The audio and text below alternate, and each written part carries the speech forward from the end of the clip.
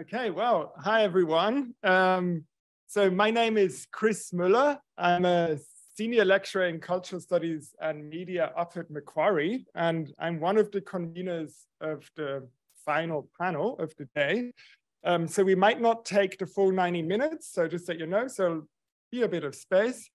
Um, I want to start with a really big thank you to Yuji and to everyone who's been organizing and presenting at the symposium today. I mean, I know Yuji, especially you've been working tirelessly. Um, so and we're, we're all here, and also you at, at, Sydney. So thanks so much for all that work. Um, yeah, maybe a quick uh, round of applause. Now, um, this panel intersects with the Australasian Humour Studies Network Conference, Humour as a Human Right, which is taking place all week here, um, hosted by the University of Sydney. And I'd like to introduce my panel co-convener, Benjamin Nickl, who's a lecturer in comparative literature and translation studies here at Sydney, um, who's one of the uh, main organizers of the Humour Studies Conference. So, so this is kind of how this panel came together. Um, now, this panel is about the datafication and digitalization of humor, a subject that both Ben and I kind of have been researching for a while. And um, we'll have some time to consider how laughter acts as an interface to technology, how it shapes how we interact, how we encounter it, how we might feel when we interact with technology. And I think we all laughed earlier when we saw those robot clips. So that's a good illustration of how immediate, how powerful this response is and how, how it shapes our uh, orientation. Now, there's a really long history and tradition of trying to design machines that can somehow make us laugh rather than run away screaming or feel like incompetent, that kind of thing. And, and these are the kind of points that hopefully we, we can return to in the discussion so we can broaden it up a bit um, onto this general question.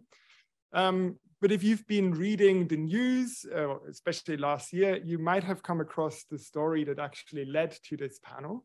So last October, September, there was head, headlines such as robots are learning to laugh at the right time and so forth. And this is um, all inspired by a research team uh, that we can feature here today. So we're really delighted that we can introduce Divesh uh, Lala, uh, who is part of the research team that inspired that story. They um, developed a robot that laughs, uh, laughs autonomously. So I won't try to sum it up. Um, Divesh is currently a researcher at Kyoto University working on conversational robots. He contributes to the Japanese government-funded Moonshot project, which aims to create a human-robot symbiotic society. Um, his research interests are based on integrating non-linguistic conversational phenomena into robots, uh, such as back channels, turn takings, and of course, laughter. And I think with that, um, um, yeah. sorry, I was just going to say again, thanks, Yuji, and thank you so much for teaming up with the HSA, and We're really appreciating of that fact. And um, yeah, over to Divesh. Yeah, Divesh, uh, all over to you. So, okay, thanks. You can hear me well? Yeah. Yep. Okay. Um, so as you can see from my camera, um, this isn't me. This is a robot Erica. Um, and this is kind of the robot that we use for a lot of our research, actually. Um, and as you can see, it's, yeah, it's an Android robot, um, quite realistic compared to, you know, like Pepper and other now and other types of robots. Um, she has a large number of functionalities, I guess. Um, and yeah, she can do uh, a lot of stuff um, in Japanese. So, oh. よろしくお願いします。Sorry, my text, this speech is only Japanese. So, yeah, unfortunately, um, she only reads, um, the text to speech is only in Japanese. Uh, we don't really have English um, text to speech in story at the moment. Uh, but, you know, she has, as you can see, she has lip sync and things like that. We can make her say whatever we want.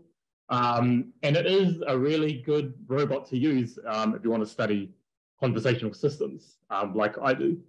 So now, okay, I'll put the camera back to me. Um, so now I'm going to present my our work um, that we've done at Kyoto University. Um, and I'll start my presentation. presentation. Yep. Okay. So, um, so the title of my talk is How to Make a Robot Laugh, and it's sort of. Um, so it's really, it's really not um, uh, how do say, a complete laughter system. Um, it's something that we kind of just thought about um, and tried to make. So our research group isn't made up of anthropologists or sociologists and stuff. Uh, we kind of work with programmers and engineers. Um, so I guess some of the things that I say in this talk might seem like kind of really stupid and like weird to some other people. Um, but we managed to make the system, which um, I think, yeah, is quite good. So, okay, so just a bit of background. Um, I'm a researcher at Kyoto University. Um, I lived in Japan for maybe 10, more than 10 years now, and I've been working with androids like such as Erica for about five years. Um, so I've been doing a lot of work um, in this field, um, and my work is basically in spoken dialogue systems. So it's users or people um, having conversations with robots. Um, and we have many types of robots actually um, that we have in, in our lab. So, you know, I just introduced Erica as an Android robot. we also have things like Commu, which is like this very kind of smallish robot that can you put on your desk and it will talk to you. Um, and then for the Moonshot project, um, we're working with a virtual agent, Gene. So it's basically, they all kind of, uh, the purposes are all the, kind of for the same thing. Um, we want to make a conversational system out of this, um, spoken dialogue system that people can talk to. Today I'll focus on Erica, uh, because people are kind of always interested in Erica um, by the mere fact that she's an Android.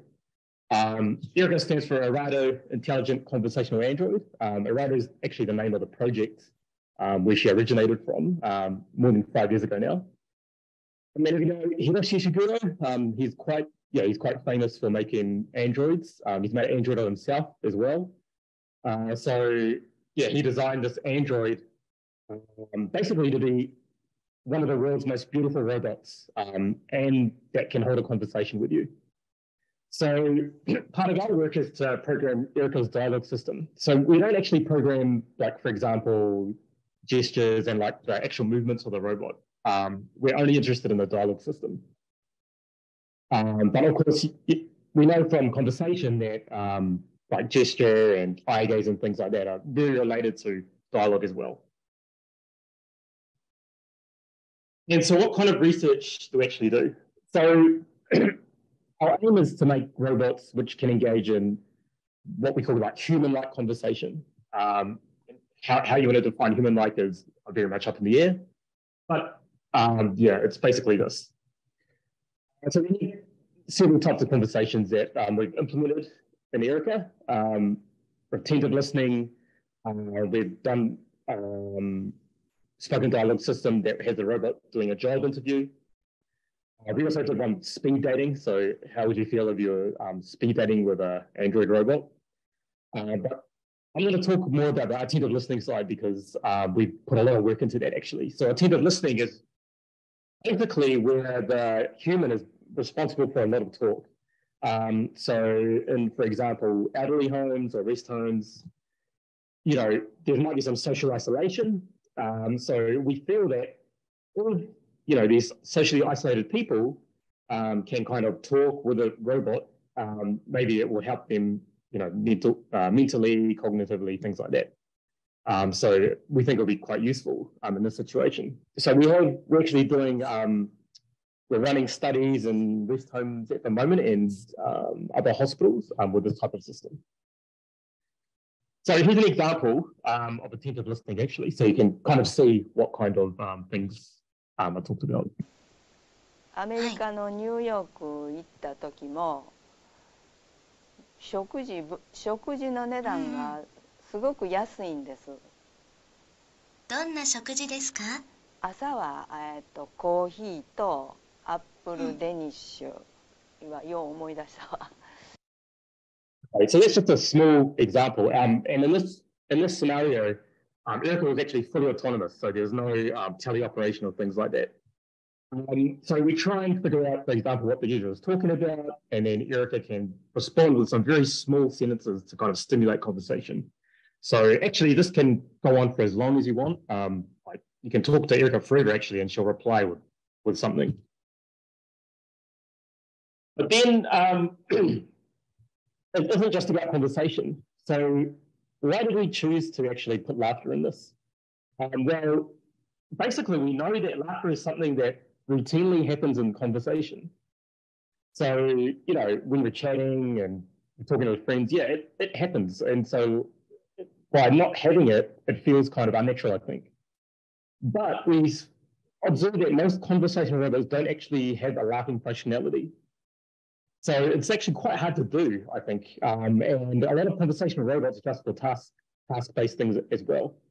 So, for example, um, if you've seen Pepper, maybe you know at the some shop or something like that, you can ask Pepper questions, but you don't really expect Pepper to laugh um, at your question, or you you don't expect Pepper to do anything when you tell a joke to it.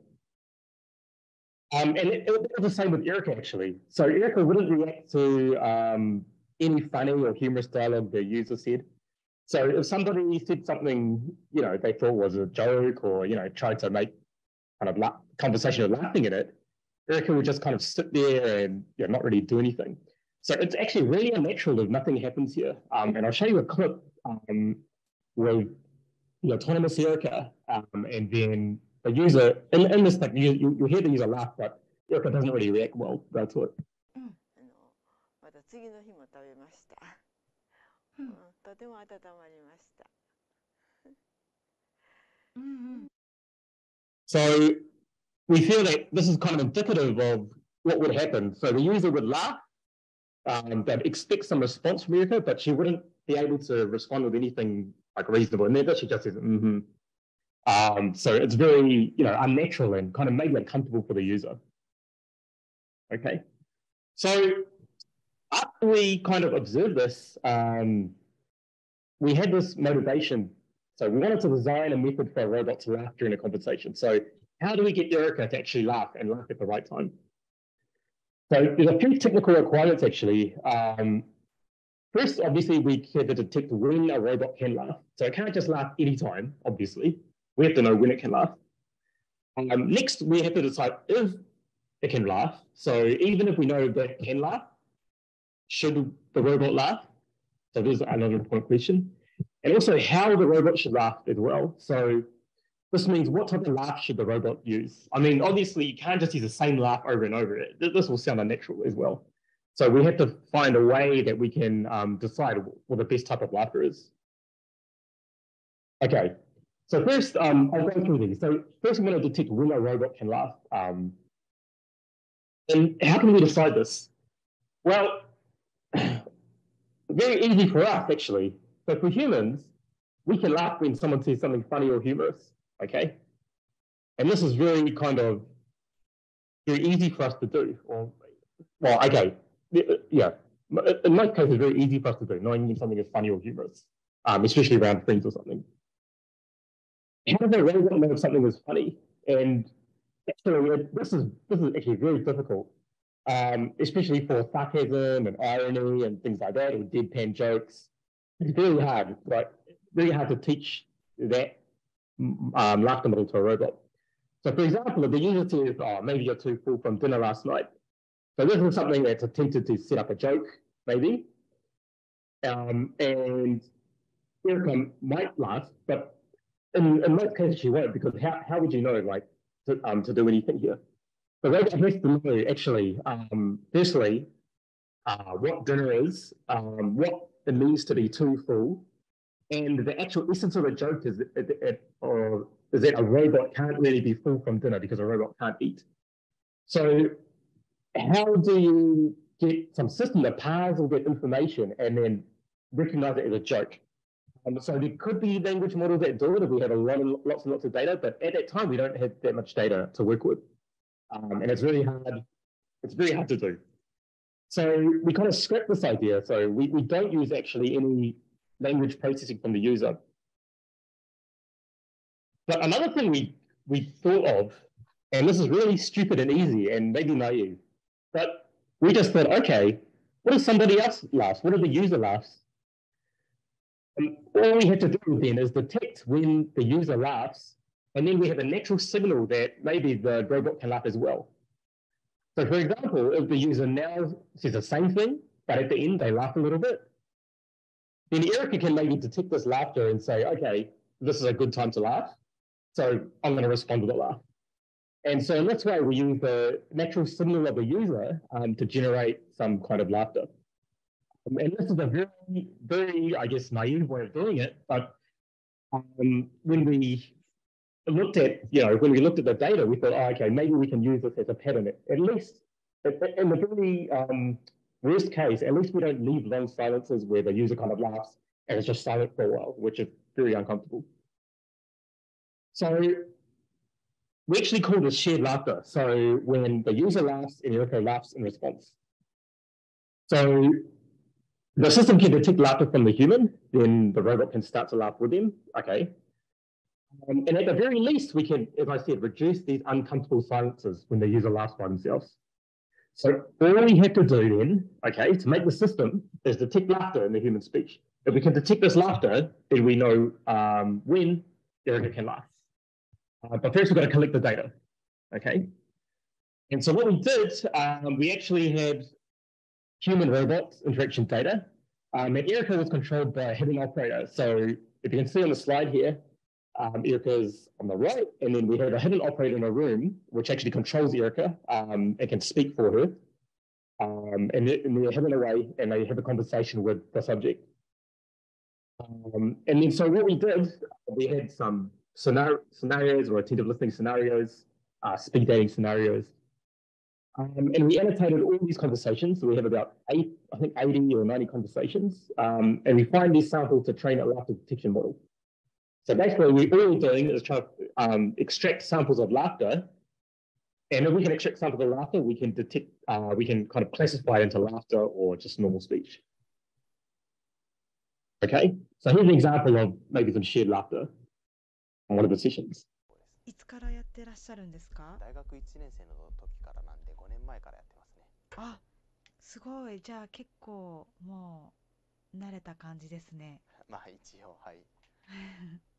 Okay, so in that example, you see, you know, the user laughed a little bit, and then Erica or the operator um, laughed in response. So there's an example of kind of the shared laughter we were looking for. So you want to recreate something like this. Okay, so what we did, um, we got all the utterances, so there's about 30,000 of them. And we found that maybe about 2,500 of these were actually to do with the subject laughing um, or laughed at the end of speech that we can use for the data. And so all we basically did was extract these audio features and then trained the model to detect this type of laughter.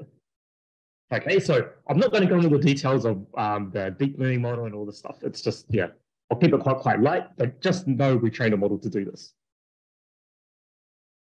Okay, so this is our first step. So detected laughter, okay? So if the user laughs, we can detect laughter, okay? Let's, let's assume the performance is pretty good as well. All right, so the next step is actually to decide if the robot should laugh, okay? And this is actually really important. Um, we don't, we didn't really see any research um, of this, well, in the engineering or computer science research, um, if this kind of question has been addressed. Um, and basically, it comes out of this question. For example, okay, so if, for example, we know when a robot can laugh, so if, if we're here, we can detect laughter, then we have a model already, actually. We have a, we have a model which says if we detect laughter, then Erica can respond with laughter. But should a robot laugh every time the user laughs? No. And the reason is, and according to what we found in our corpus, is that most laughing isn't shared.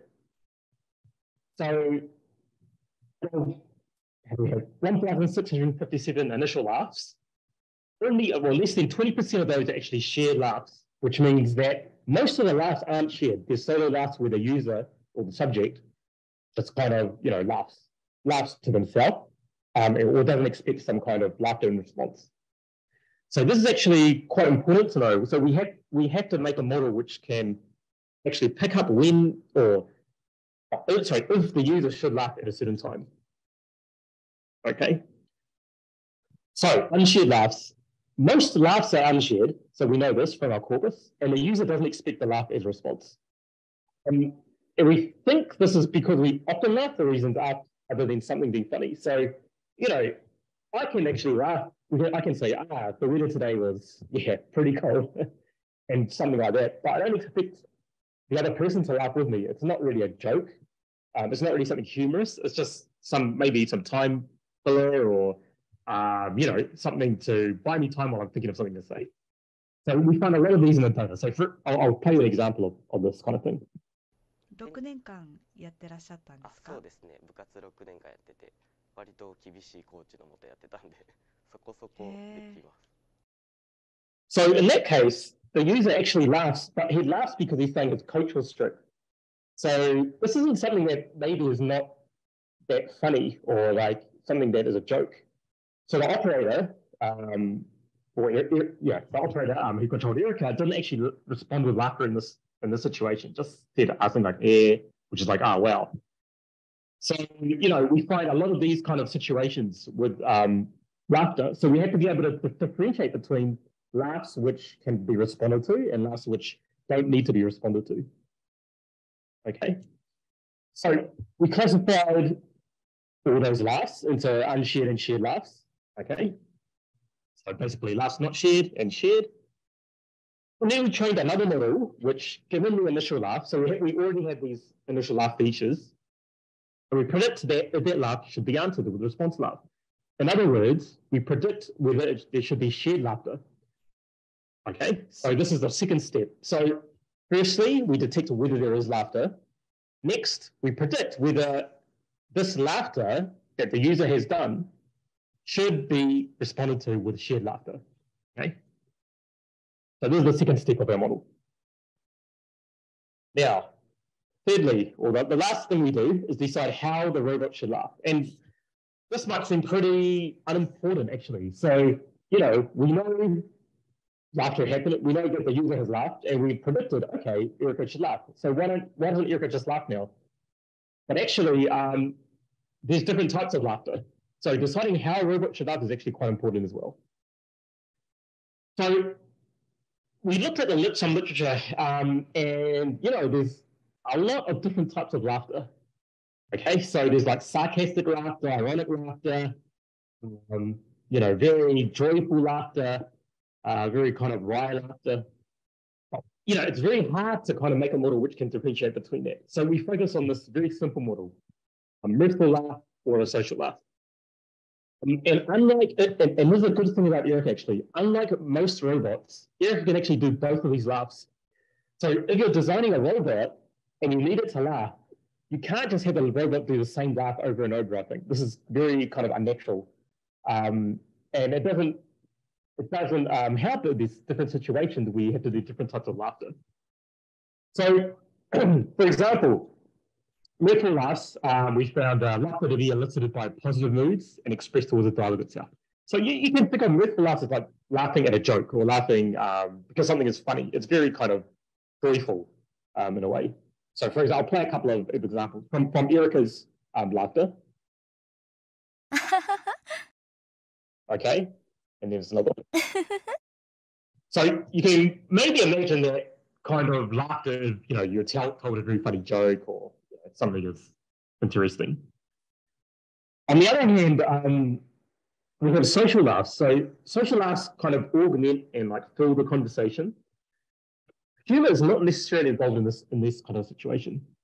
So in this case, the laughter sounds a little a little more um, how do you say downplayed, like this. Okay.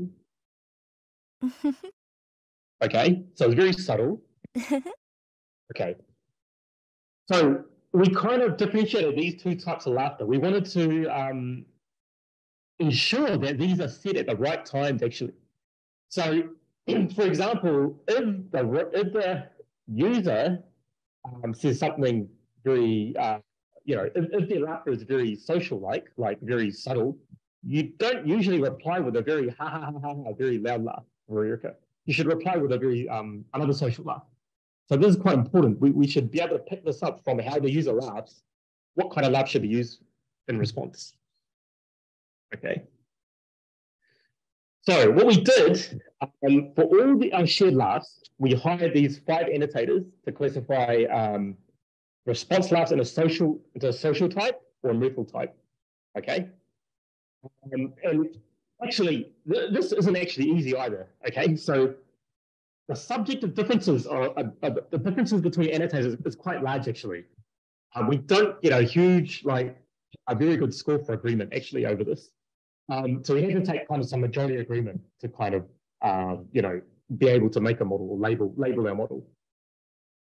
And you can see that social laughs are, are more common than mirthful laughs, okay? So more than two to one uh, social to mirthful laughs. Uh, so this means actually that if you're making a robot with laughter, you should actually use more response laughs, or you should ensure that your robot can do, um, sorry, so social laughs, uh, because these are the most common type. So now what we can do is use the initial laugh, okay? So remember, we know the initial laugh of the user. We've already got that information. And then we predict the response laugh type. So given, given how the user laughs, we want to predict the type of laugh that um, the robot should make, okay? So this is it. So we have um, the user laugh. So maybe you're too full laugh out of dinner. System tries to detect that laughter, predicts whether that's shared laughter, so predicts whether we should um, use the robot as a response uh, to laughter in, in, response, and then choose the laughter type. So, for example, should it be mirthful or should it be social? Okay, and then that's it. That's our three steps, um, and then Erica can suddenly respond with a laugh to this. Okay, so it's a very easy I would say at this at this point, it's a very naive model because all we're doing is using the audio signal of the user. Um, and I'm going to tell you some limitations of this model, and they're very big limitations. Okay, but first, we did a subjective evaluation actually.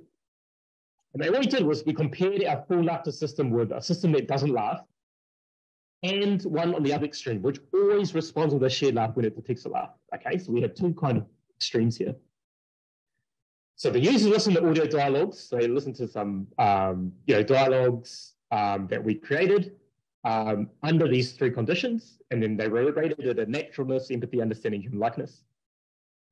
Um, and what we found is that our system um, is dependent on the dialogues actually. In some cases, the baseline is actually better, um, particularly when you're always laugh, always respond with a shared laugh. It, it might be better actually. Um, so our system could improve the baseline in some dialogues, but in other ones it failed quite, it failed a lot. Okay, so this is there's very no real set rule that we can say our system generally or always beats the um, baseline system. But what we did find is that laughter in general is important in this kind of system. So even under, uh, sorry, out of all the three conditions, the non-laughing system never outperformed the other ones. Okay, so it pays to have some system where you can laugh actually. And in, in chatting conversation, you should be able to, um, you know, laugh. The robot should be able to laugh in some way. Okay. So what do we conclude actually from our study? So laughing, laughing is a necessary feature in a chat dialogue system.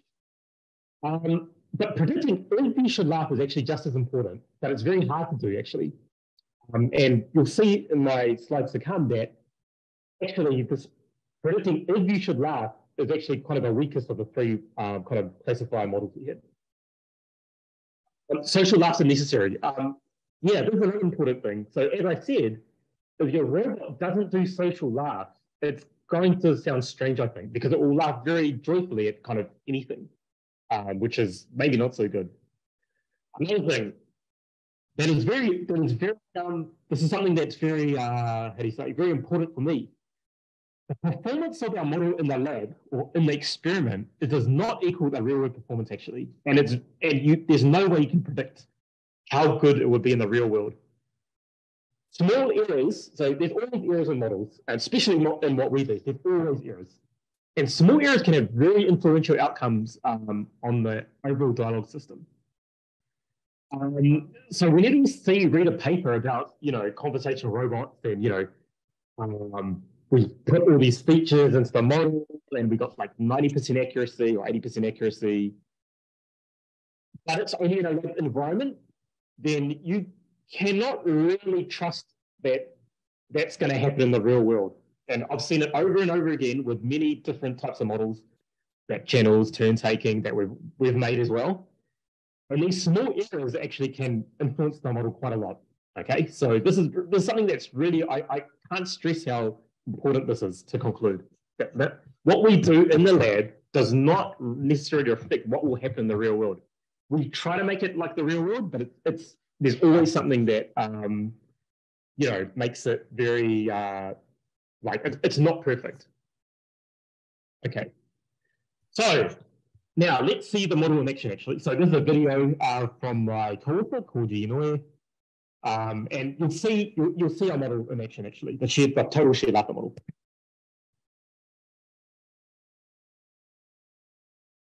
この前あの一晩で勉強したのに、うんうんうん、あのテストに合格しちゃったんですよ。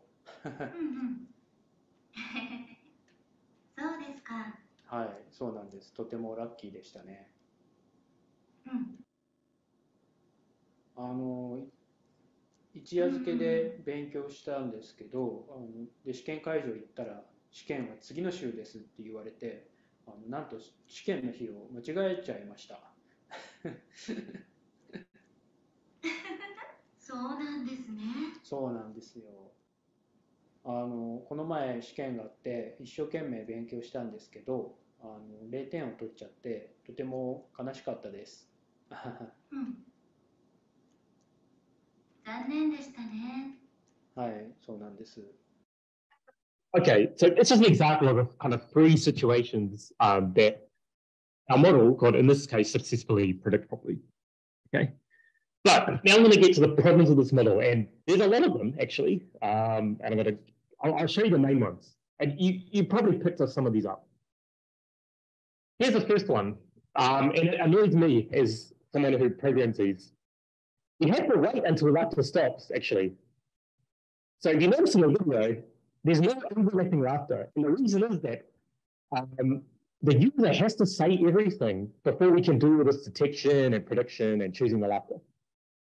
You know, in the real world, this never happens. I'm saying never happens, but um, it's not um, that common actually. So we laugh, we laugh with my friends. I laugh with them in, in the fact, in the sense that I laugh while they laugh. But in this model, well, this doesn't actually happen. We have to wait until the user completely stops talking, and we have to you know, just a pause and then and then laugh like that. Um, there's probably ways we can do incremental speech recognition where you can laugh, where you can quickly um, classify, but it's still a very big bottleneck to the system actually. Um, so this, this, is this, this is one thing that makes it unnatural. Here's the second one. So this prediction of the shared laughter is actually pretty inaccurate. So if you read our paper, um, it's better than baseline. So I think the baseline was something like 16% F score, and ours was like 30.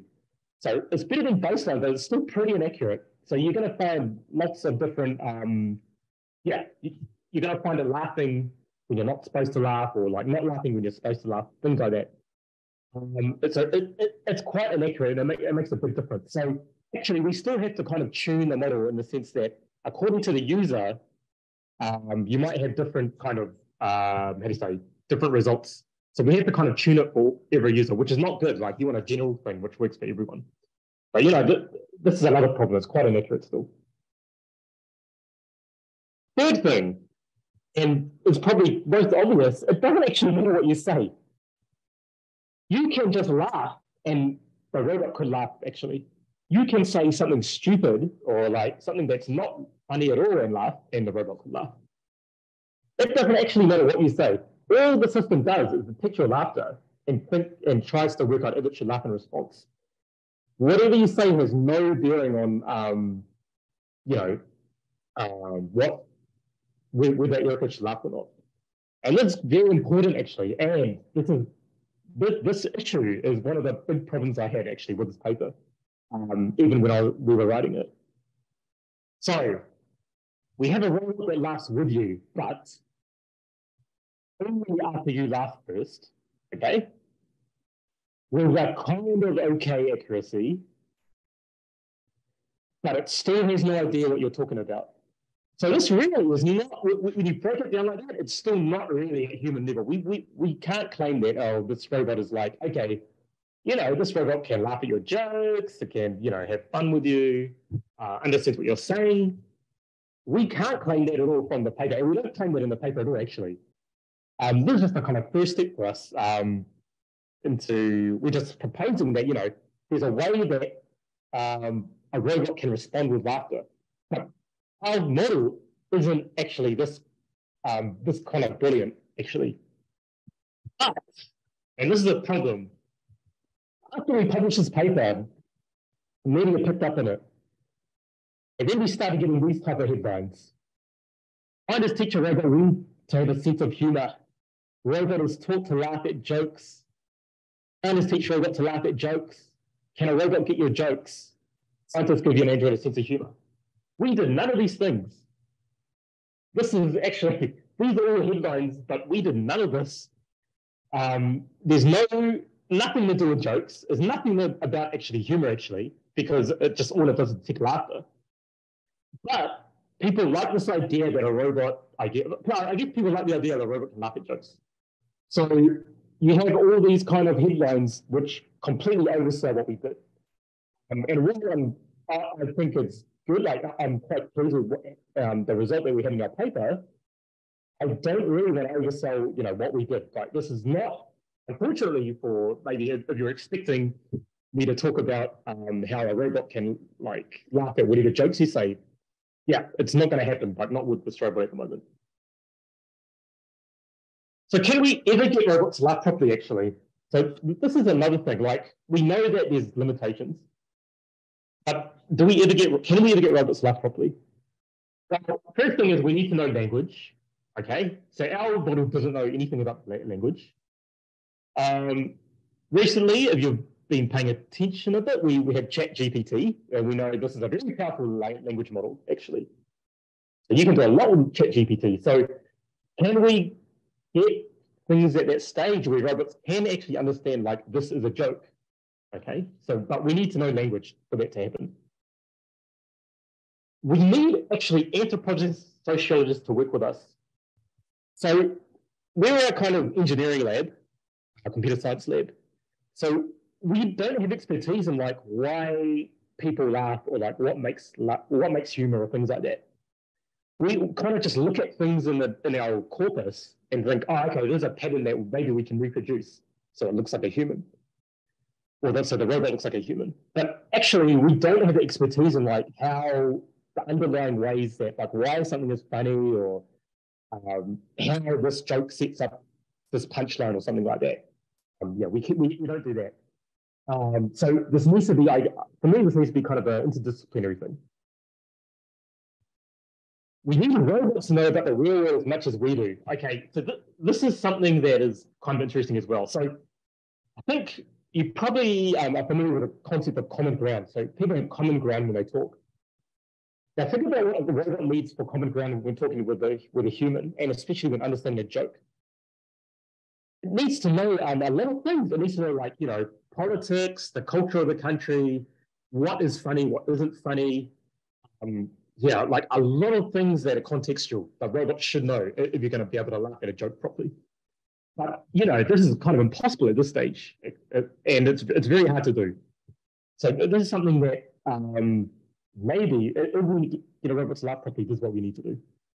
But it's very we're very far off from this at this stage. So what else? So this is something that I kind of open up open up for discussion. Like what else do we need to get robots laugh properly?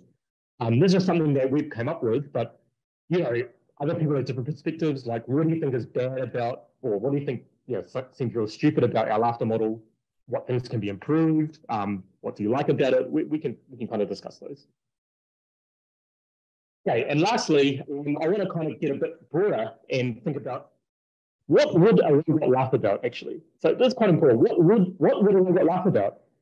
So we train models where humans laugh at things that humans say. If you're a robot living in society, and, and this is what we're gearing towards in like the Moonshot project, like if robots were kind of in a society with humans, what would a robot laugh about?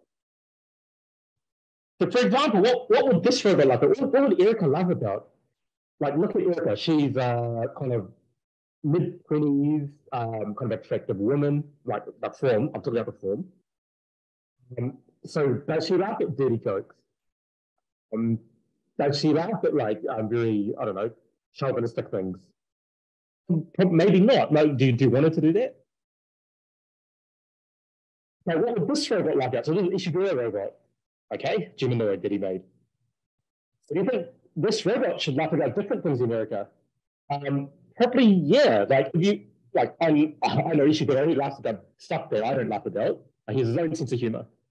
Um, so this is something that you know um, we can think about. Like, should this robot actually laugh at things that you know um, teenage girls laugh about? Probably not. It, it would seem kind of weird, right? What about a child robot? So this is Ibuki, there's another robot um, that Ishiguro created. So what would a child robot laugh about? Would a child robot, should a robot that's a child laugh at adult jokes? Would it seem weird that that happened? And maybe what would this robot laugh about? So this robot, you know, is not an android, um, but it's just a small robot that sits on a desk. So maybe it's your personal robot. If it's your personal robot, should this robot laugh about things that you personally find funny as well? Or should it have its own its own um, ind individual sense of humor? Okay, so these are questions that I think well, maybe we can think about um, that we're interested in the panel. So robots participating in society. Um, I think humor differs according to culture, age, and gender. Um, this is quite, for me, this is quite obvious. So, but if humanoid robots participate in human in human society, um, should they learn their own style of humor? Okay, so do we have robot jokes that only robots understand or something like that? Um, and as I've kind of just alluded to, should humor be based on the appearance of the robot? So, you know, you make a robot have some certain uh, affordances. So like, you know, if my robot has a mouth and eyes and like a face, I assume that it can do things like maybe talk and like maybe see me or something like that. And it's the same with humor. Um, the, the um, say the appearance of a robot um, maybe has some influence on what type of humor um, the robot should react to. Oops. Okay, so that's the end of my talk. So I hope that wasn't too long. Um, but I'd like to, yeah, I'd like to kind of um, hand it over to the panel. Um, I'll be part of that panel as well, um, and we can discuss some of these things. So thanks. Okay. Thank you. Wonderful. Well, I, I hope you heard the applause and thanks so much for a really stimulating presentation. I think lots of the questions you raised made me think I always I had to learn all those things as well. when to laugh, when not, and, what kind of laugh and when it's appropriate. So really, really interesting. Um, we might just start by asking like the audience in the room, if there's questions you'd like to put, um, yeah, Taniva, we have a question back here? Um, yep. You should hear it. There's a mic going around. Right. Hello. This is kind of strange because you can't see my face, but I can see yeah, that's, that's fine. I can hear you. Let me point the camera. It's just a little bit less awkward if people can see me. Hi. Oh, yep. okay. Yep. Hello. Hey, how's it going? Lovely. It's lovely to meet you. Thank you so much for your presentation. That was super interesting. Yep. Um, so my, my brain went several directions at once. And I think one of the first observations was how everyone reacted differently to the um, gendered performance of that particular robot that um, I'm from Japanese studies and I've got a lot of colleagues that specialize in women's linguistics and the type of yep. laughing. So my first question is, have you programmed her um, to be able to laugh evilly? Ah, okay, okay. Is she only very, very a very, very nice robot or not? And the reason I ask this yep, is yep. I wonder to what extent it matters that the robot can understand language or not, because for many robot users who quite genuinely use robots as well as um, VTubers or other kinds of avatars, they um, treat the kind of figure as a kind of puppet, and it's right. less about yep. the actual mutual connection, but more about the imagination as part of that social engagement. Yep. So can she laugh evilly? Can she yeah, reject so um so sorry, just a bit, bit, bit of background. So she has um, some specialized text to speech. And that text to speech is actually, so her laugh's actually recorded from a voice actress. So they're not in text to speech in the sense she says, ah ha ha ha ha. So she has, I think, 120 something laughs. Um, wow. And, and yeah, and some of them are real stupid. Like some of them are like, there's one that's like a 10 second laugh, which is just kind of, she just burst out in laughter. Like the actress just burst out in laughter for 10 seconds laughing. And I'm sure there's one of them in there that sounds evil. Like I haven't gone through all of it, but I'm sure there's a couple in there that probably, probably do that. Um, mm. But we, the, the, the problem is that we didn't really tag any of them, or like we didn't really classify them. So you know how I showed you uh, Mirthful and Social Arts? We had to go through those like like a hundred laughs and listen to them and think, oh, is this one a social laugh? It's a myth laugh. It's kind of very um, laborious to do. But I'm sure one of them is probably some evil laugh where she's like, or something like that. Delightful. It sounds very, yeah, yeah. yeah. Vengeful. I love it. Vengeful, yeah. That's a good word for it. Thank you. Yep. Any other questions?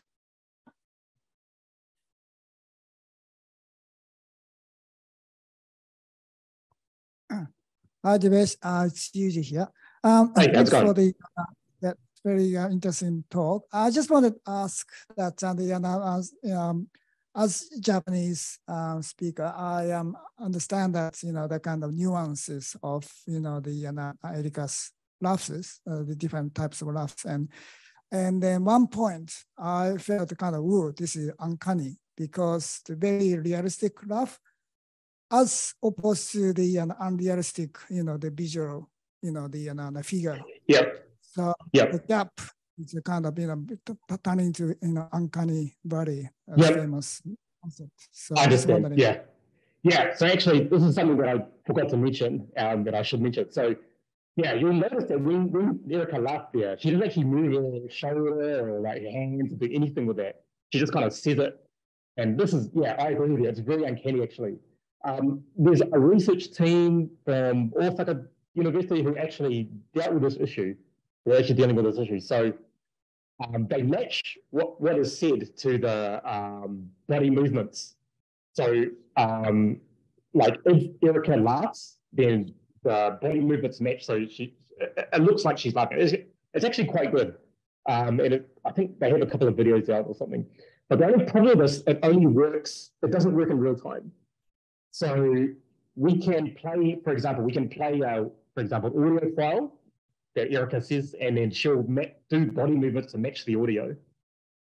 And I think language maybe, but you have to pre-program the language in. But um, yeah, in real time, it's actually quite hard to do to, to um, kind of make it so um, she can do the correct gesture.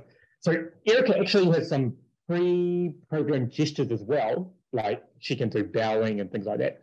But to make her like doing a like a body language or laughing is actually quite tricky to do actually. Like, and because we only do dialogue, we don't really focus so much on the non-verbal stuff. But I agree, it's something that you know probably should be done because, as you said, it's very um, um, it doesn't match, right? It doesn't match. So audio doesn't match the actual body language. So it's very, uh, yeah, it makes it un uncanny. Yeah. So I, I agree you. This is another issue. Um, but there's other teams working on that um, from what I know. And, and maybe this is actually a problem with Androids as well. So if you have an Android robot, you have to make sure that all the body language and things like that are very, um, very realistic. If you do like a Pepper or something, if you make Pepper laugh, the body language maybe can just be like, ha ha ha, and they raise their arms or something like that. Um, and it's very, we, we don't expect it to be, you know, very realistic. But with an Android, you have to make sure that this kind of thing is um, right yeah, um, quite true to life for us. Yeah, it, it just looks very strange. Yep.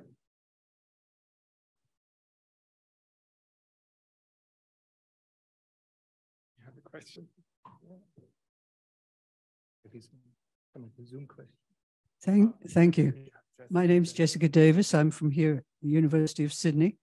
Yeah, how's it going? Part of, I'm I'm part of the Humour Studies Conference, so I'm coming at the topic from a from the point of view of a humor scholar.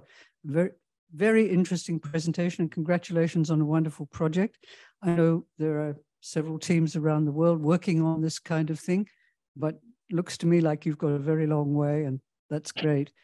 Mm. I just wanted to ask, you would be aware, I take it, in studying types of laughter, that there's, in humans at least, not robots perhaps, there's a very big difference between Duchenne laughter, genuine laughter, and Yeah. non Duchenne laughter, Yeah. which is carefully codified.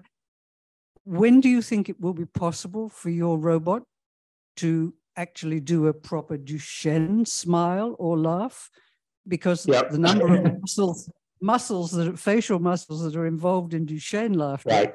are really amazing. So, how are you doing on that score? Um, okay, yeah, that's a, that's a good question actually. So, yeah, kind of a Duchenne laughter, like fake laughter, I think, uh, something like that. So I know there's, correct me if I'm wrong, but I think there's Duchenne smiles as well. Like there's a fake smile that some people could do, and as maybe um, maybe some people can pick it up. Um, but this depends actually on, as you said, there's a there's muscles, there's different muscles that work um, when you do these things. And so to do that, we actually would actually have to create some way that Erica's like inside Erica's face, there's all these actuators that move. We have to probably add more actuators or like do something to kind of recreate this this kind of thing. Um, yeah, it's it's really hard actually. So it's not something that we can just be like, oh, we'll just put on a few motors here and a motors there and make it work. Um, we'd have to probably create the robot with the intention, with, with the initial intention that yeah, this robot can do those Duchenne laughs and like Duchenne smiles and things. Um, I haven't actually tried it, and and actually a good research question would be, can we try and like, if the user can uh, watch Erica laugh, maybe they think some of these laughs are fake. Um, I don't know. Uh, we'd have to try and do some research on that to see, yeah, if that's if that can be done in the current in our current robot. But yeah, technically it's quite tricky at the moment, actually. I would say.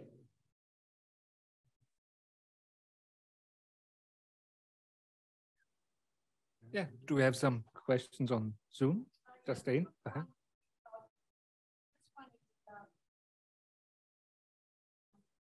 Yeah. Maybe mic. So the first one is from Joanne. Uh, Yep. And she says, uh, How about building in a random component so that occasionally the robot does not laugh in a responsive way? This parallels Uh, real yeah. life humans need to Yep. From laughter Yeah, for some reason. Yeah, yeah, that, that's a good point actually. So we didn't actually do condition for random, and as you said, that, that could be actually quite powerful um, if you think about it. Like you sometimes maybe fifty percent of the time you laugh, fifty percent not, and maybe it doesn't. Maybe it doesn't actually matter when you laugh as long as you laugh luck uh, and sometimes. Um, so I, I don't know. Yeah, so I don't know the research on. If I don't know if there's research on for real humans of if when they decide to laugh, um, how that's decided. If there's any like research on that, um, but um, yeah, I, I think if, if what you're saying is true, that there's maybe a random component it, yeah, it's definitely something that we could look to put in the model.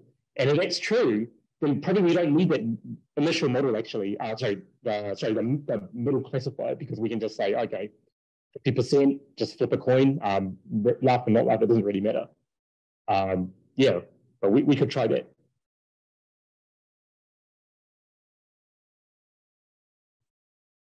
Is there another one on Zoom? I haven't. I haven't got a mouse. Yeah, have we got a? You've got. Yeah, we've got another one from YouTube. Um, let me just.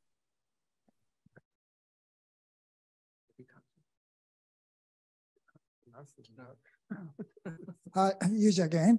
Um, Yeah. Just one more question. Um, in relation to the, uh, uh, the, the discussion earlier about uh, funding, um, so I do understand that you as an engineer that, you know, wants to create robots, you know, that can laugh. That's, you know, probably challenging project and probably very interesting. But I just wonder why.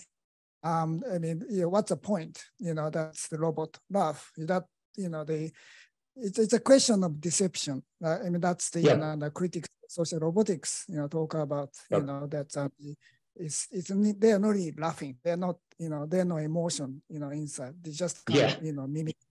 So Yeah. just curious how, you know, uh, the, the, that project, you know, the, uh, the frame that social, you know, the social importance of this, you know, project where yeah. there's a is a degree of deception there. So yeah. just kind of funding, you know, your approach. Yeah. I mean, that, yeah, that's a good point. So yeah, I, have been asked this question before actually. Like, why? What, what is even the point of this? Like, we obviously we don't.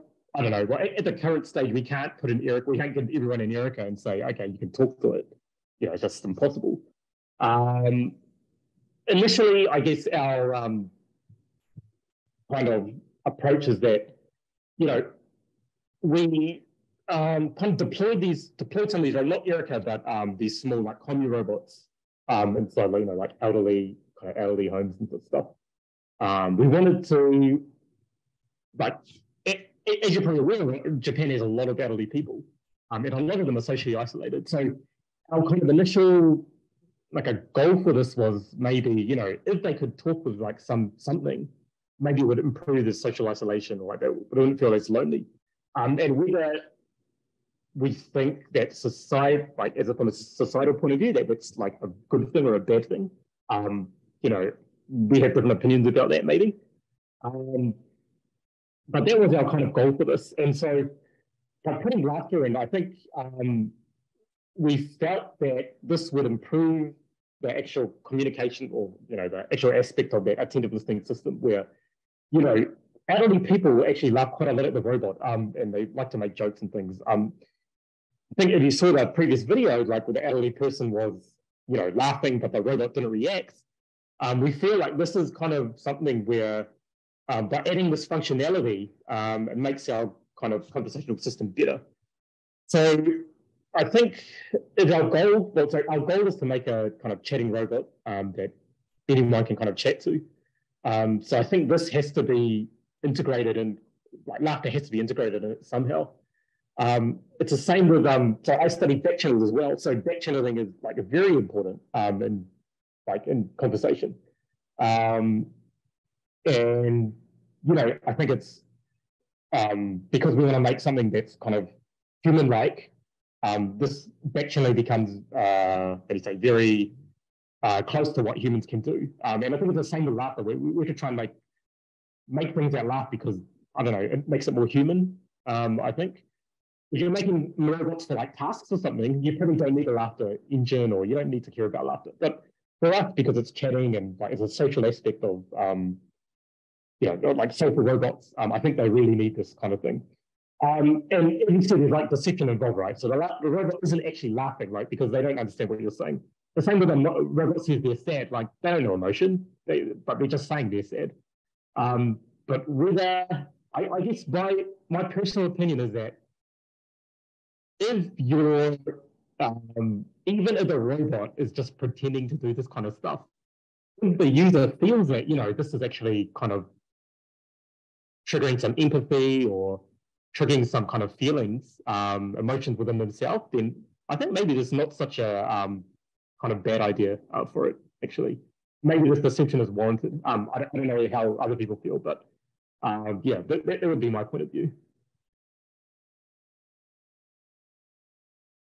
Fantastic, thanks. Well, any questions in the room? Well, um, can I ask one question? yeah, yeah, um, sure. I'm just, I'm just interested what the participants made of it. Like, what what did they report of the interaction? Was there people who felt laughed at? And I mean, laughter is a very powerful corrective. That's why I thought the the question about the evil laugh, I also yeah. had that written down, right? Because we use it to kind of communicate. Please consider your point of view. You know, please maybe what you're saying is possibly problematic. It doesn't have to just be this kind of submissive, charming laughter. It can also be a very powerful way of communicating or negotiating cultural values. So did your participants like kind of report about that effect or did they like how did they describe the interaction if you can uh, okay. so i should say that for, for our experiment it wasn't actually interactive. So they listened to audio and we just um that is uh, manipulated the audio according to the model. So they, they don't actually see erica uh, they, they just listen to, to some audio but afterwards, you know, we put this into Erica and we like demoed it with like a lot, lot of people. And yeah, I think they felt kind of, I think the first thing that comes to their mind is like surprise because they, you know, you don't really expect the robot to laugh back at you actually. Um, I think that was the first thing. So like they laughed and, and actually because it, our system can pick up like very subtle laughs as well, um, when they heard this laughter back from the robot, they're actually quite sh shocked or surprised that it, it could actually happen. Um, because, you know, it, it's quite unexpected. Um, maybe maybe it's a novelty thing at the moment, but you know, if the if robots start becoming very um, you know able to do this kind of laughter a lot, then maybe our robot will, they'll think, ah, this is kind of yeah, whatever. This is just a stupid laughter response thing. Um, so yeah, I, I, can only I can only give that information from what I've observed from like demonstrations and stuff. But I'd say it's mostly at first it's surprising that the robot can do this. Um, and yeah, but I don't know, like what would happen if we put in an evil laugh or something like that? Uh, it's probably interesting to see what would happen if we ch- change the laughter. Um, I'm, I'm not sure, actually. Yeah, it's something that um, yeah, people can come and try it out, and uh, we can have a laugh about it. Actually, so I think Chris Chesher had a question there. Well, his hands up. Father, can we switch? Ah, yeah, I see it. I see the camera. Hi, how are you? Hey, how's it going? I'm good. Thanks. Really fascinating work. Um, I guess what uh, what strikes me is the um, phenomenon of the the idea of deception kind of relies on a very um, kind of Platonic or Platonist um, kind of conception of media more broadly. Um, and if you sort of look at um, the problem of getting a robot to be animated, um, you might look back at the history of animation in the early days um, of creating animation. Um, the animators had to learn various kind of techniques of making believable movement, believable facial expressions. Um, and for example, in the lead up to the early, a lot of the early um, animation was slapstick humor. That was kind of a lot of the first animations. Then Disney came along and added narrative. Um, and there was that sort of puzzle about whether you could actually care for animated um, mm. characters. And there's sort of a similar question now. And I think, you know, when the, the kind of clumsy talk about the uncanny valley um, really is talking about those threshold points where there's a kind of affective sense of the animate um, that is achieved, um, you know, even in the, um, the examples that you're working with. Um, and there's sort of really a million different ways that you might approximate or perform um, animacy in a certain way. Um, so, have you thought about sort of treating this, treating a robot kind of theatrically as well as interactionally? Um, yeah, it's a good point actually. So, personally, I haven't done it myself, but I think there's like when you when you say theatrically, do you mean like, um, for example, acting or is it some kind of performance or? Yeah, yeah. So I mean, there's this yeah. sort of there's the real sort of um, tendency to think that it has to be autonomous and interactive. Right, right. Um, but if you can get a robot to, I mean, in fact, that's what that's what you said is that when you had a, a recording um, that a robot could perform the, um, you know, the the um, laughing yeah. gestures, um, but still, that's a success of a sort. Um, yep. So I think um, for for Erica, actually, she's I think she's taken to movies or like it's um, yeah, it's not interactive, but I think it's similar. So he's doing movies. Um, I think news reporting, something is on TV, something like that. So yeah, there's I think we're not part of that kind of research area, but I think there's people working on it where, you know, they try and their very best to make it's like animation, like very life lifelike movements. Um, so you know, she presented as like doing some kind of performance as well. Um, yeah, so this is definitely something that's kind of part of Android research as well. I think it's starting to become quite yeah popular. So yeah. Yeah, because um, Disney um, yeah. Disney did animatronics for you know right. the yeah. audio animatronics in the uh, in the fifties yep. um, using kind of recording um, audio tracks to trigger yep. animations. Yeah. Yeah. I think we're getting to the stage where, yeah, you, yeah, you know, like um, these kind of animated animatronic stuff is getting quite really quite good. Um, I haven't really, yeah, it is interesting because you know you think like films and stuff have quite good animatronics, I guess, um, but seeing a live performance of them, um, especially with Erica, um, you can go to actually go.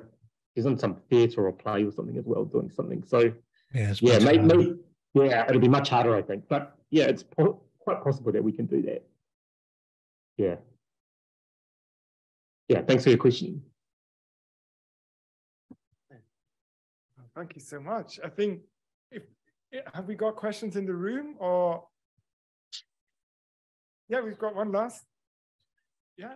Um, yeah, look, I really appreciate that you asked the question, you know, what are the different kinds of laughter that all of these different robots could potentially have, and how do we think about that?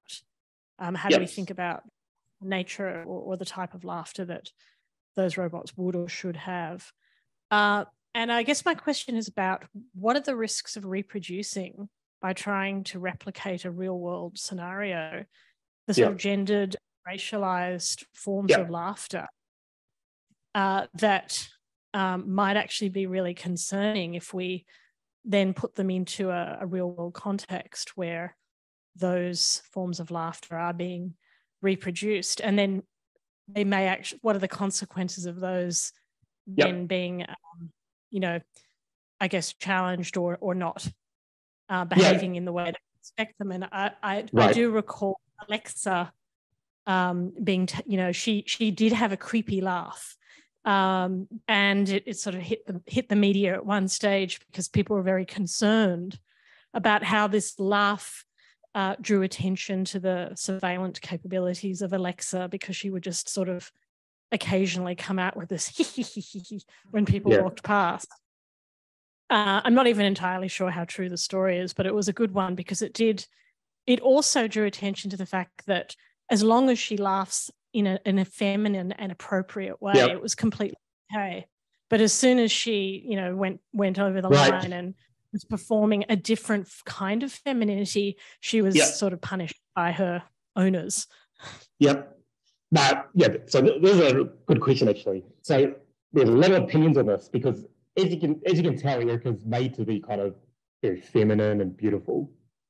And this poses some problems actually. So like um, when so actually when this uh, paper hit the media in Japan, there's a bit of kind of backlash from um, like feminists in Japan because the reason the reason is that you know this kind of very feminine laugh, um, kind of um, maybe reinforces the stereotypes of what you know Japanese women should kind of like do and like, like how they should act and behave.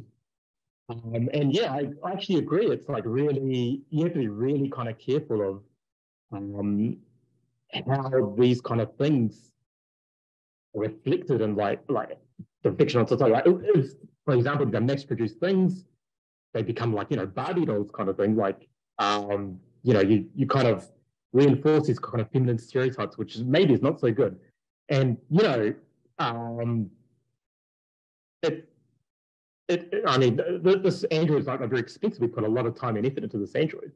Um, but you know, this is a kind of Android that's uh, who's like mid twenties, feminine kind of thing. We don't see androids that are like you know fifty year old like men and like you know the big beer guts or something like that.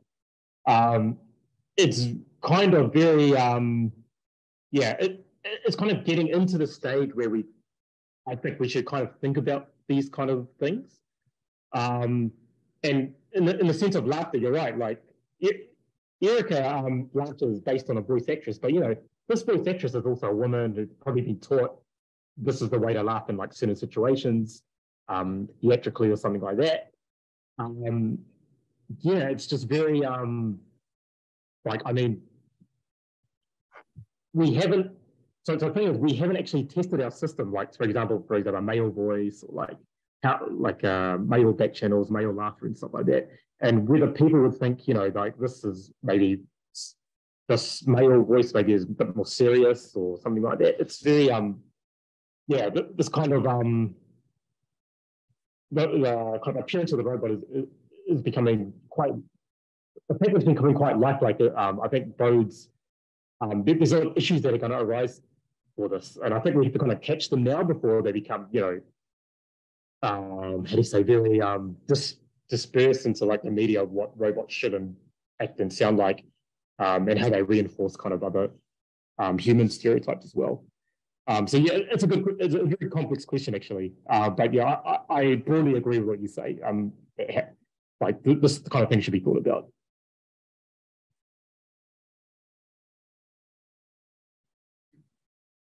I yeah. yep. I'm impressed with the way of all the rich ways that people interact that you've chosen laughter as something, this reciprocal laughter as a relatively um, straightforward thing to tackle. And uh, I think that's a very clever choice. And I see that you're focusing on old people, social isolation, and the rest. But uh, I'd like to suggest that you might tackle rubber duck problem solving. Are you familiar with that uh, uh, technique? I've heard, I've heard, of it, but yeah, it's refresh my memory. Uh, so uh, when people are trying to solve uh, uh, problems, say programming problems, when all else fails, you talk to the rubber duck. And in explaining your problem to the rubber duck, you sometimes get the answer. Yes. It sounds silly, but a lot of people mm. actually do own a rubber duck. And it seemed to me that your tabletop robot uh, might yep. be uh, more effective than a rubber duck by giving certain limited interactions uh, yep. back. So, in detecting uh, a confusion in the voice of the speaker, say, Are you sure? Or the things of that nature. Uh, yep. So, uh, not a big step away from reciprocal laughter, but just detecting verbal tics or voice stresses uh, yep. to actually help people solve business problems. Thank yeah. You. So, yep. Yeah, that's a good point. So we, um, so yeah, part of our research is actually trying to work out um, how, how like to, to give you to for your example, detecting confusion. Um, so you know, we we had to like kind of make models which can detect confusion actually. Um, and I, I'm not sure how maybe it's quite difficult to do with a corpus we have the other thing is that we have, you know, um, I mean, not not just laughter, we have like things like back channels and like turn taking and stuff that um, and all this requires like a large corpus that you can kind of extract all these examples and then make the model. Um, so yeah, for things like confusion, um, and especially in our kind of corpus, which involves um, like you know attentive listening and like speed dating and stuff, examples of confusion interaction are quite rare or, or, or rare. Um, and also we haven't annotated these things either. So, um, you know, annotating, I think you might, you probably are aware, like annotating conversation takes a long time. Um, so we have to kind of um, kind of really focus on like what exactly is important for us. Um, so we, I think we've done stuff with emotion where like um, we try and detect the emotion of the speaker, like if they're feeling sad or something, then the robot can say, ah, you seem sad or something like that. Um, but it, I think our current models are not really, I don't know, they're, they're, not really accurate enough at the moment to kind of be usable in that sense. So I think there's a kind of a technical thing, or maybe a, maybe it's a data data thing as well. Like we just don't have the um, right type or amount of data um, that it could work. But yeah, definitely something like as you said that can detect, you know, little emotions in the voice or like verbal text or something like that. Yeah, that's any of the stuff is like very helpful for us. Um, so if somebody has a good way of like figuring this out um, that we can use in real time, yeah, that'd be great. Amazing. Amazing. Fantastic.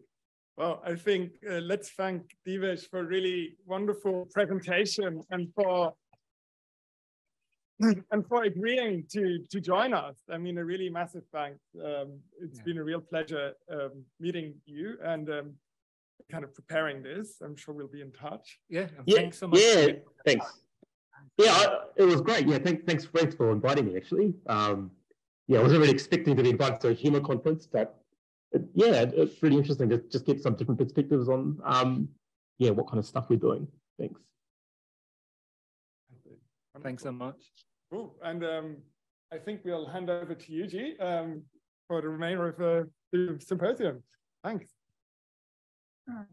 Right. Uh, thank you so much, uh, Chris, Ben, and Divesh for the uh, yeah, really interesting um, session. And uh, it is great that Ben and um, um, the Chris uh, brought the uh, the theme of humor to the symposium, and um, topics such as you know humor uh, not generally you know picked up in the mainstream debates on on uh, AI and robotics. So, and then yeah, the event. Good luck with the you know, you know the uh, in-person session of you know humor conference from start from tomorrow.